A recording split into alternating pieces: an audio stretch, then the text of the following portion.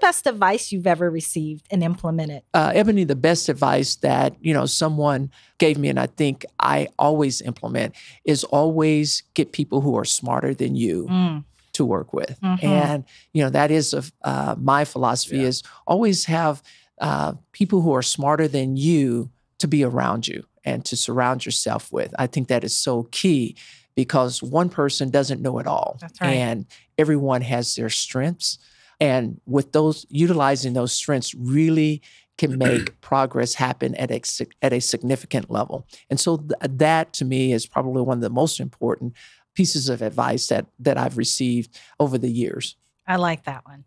I like that. And Don obviously does too, because he brought me along. I, that's right. That's right. No argument.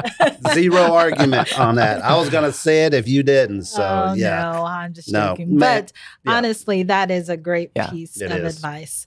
Um, and last question that I want to ask you um, is how do you balance work, community, and family? Ooh. That's what I want to Whoa. Yeah. Because you are super busy and your family is busy as well. Right. They, you're, oh my gosh.